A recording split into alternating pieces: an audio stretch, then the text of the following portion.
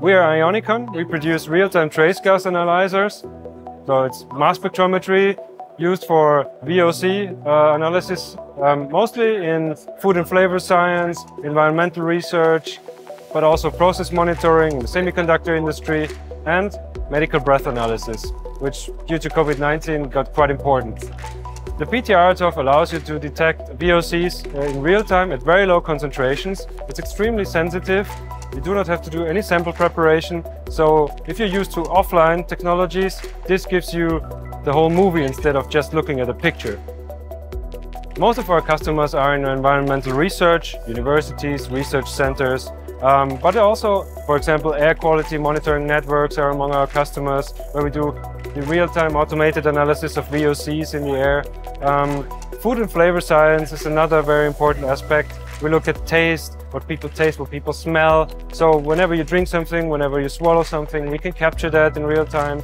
Then there is uh, industrial clients, mostly in the semiconductor industry, where we look at the clean rooms, how clean they are. We look at wafer transport cubicles, the so-called FOUPs, where we do the analysis of um, the air in there, and many other applications.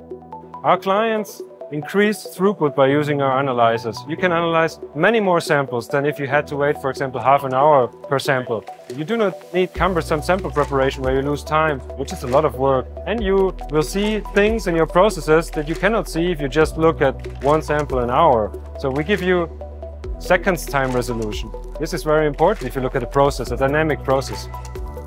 I think the main benefit of the system is it's targeted to VOCs, and it's very specific and very sensitive, um, and it works in real time. I think this is the major uh, distinction to other systems.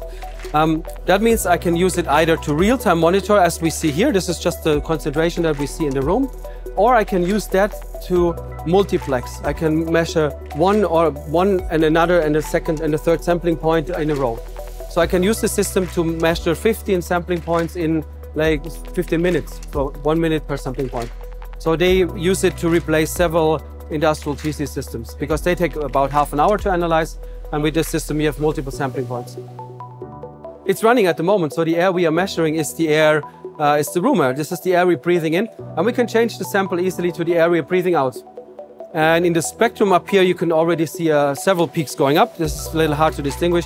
And below here, I plot a few peaks um, that I know originate in my breath. So here we have the typical compounds, um, acetone and isoprene. These are the typical endogenous compounds we find in breath. It's not only these two, I plot a few more which have even lower concentrations, so these are dominant ones.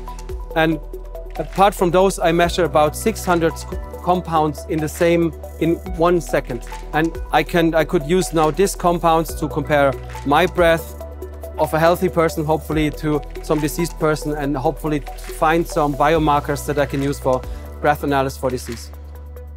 In the example of breath analysis, the COVID test I mentioned, um, they have a one minute COVID test. It's basically one exhalation and it takes longer to exchange the mouthpiece and the patient than to do the analysis. Basically, you exhale and you have a result. And for COVID, you can guess uh, if you have a long queue in, on an airport, you want to have a fast analysis. Our key message to visitors at Analytica is here you have an analytical instrument that allows you to detect what you're interested in at an extremely low detection limit in real time. So you don't have to go to any other systems where you have to wait, where you don't get the sensitivity.